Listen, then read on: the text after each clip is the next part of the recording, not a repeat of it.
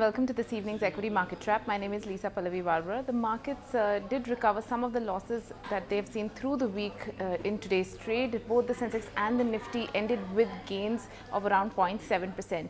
Uh, the Sensex ended at 26,100 and the Nifty just short of the 7,800 mark. Uh, the if you look at uh, the broader markets, mid caps and uh, small cap stocks, which corrected very sharply yesterday, recovered more than the Sensex today, the benchmark indices today. The uh, on the broader market front in the sectoral indices, it was uh, the consumer durables and the metals index which were the biggest gainers, up around 2%. On the other hand, uh, the very few on the declining side, IT was one of those, uh, but a marginal decline of around 0.08%. Coming to the uh, individual stocks, uh, there were some result reactions. Tata Steel reported a 70% decline in net profit. However, markets didn't take it so badly. The stock was up around 1.2%.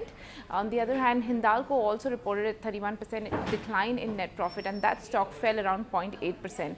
But the big news today was Adani Power's acquisition of Lanco Infratech's uh, power plant. Both those stocks reacted positively to the news. Uh, Lanco was up around 5% and Adani Power around 2.9%. Coming to the Sensex names, there was a bit of a shift. The laggards gained today. Uh, GAIL was the top gainer up around 3.7%. Uh, also on the gaining front was uh, Sesa Sterlite up around 2.8%. On the other hand, Hero MotoCorp uh, declined some profit booking there down around 2.7% and HDFC Limited was down around 1.4% uh, on profit booking. Uh, that's all from me. Do log on to livemint.com for more details. Thank you.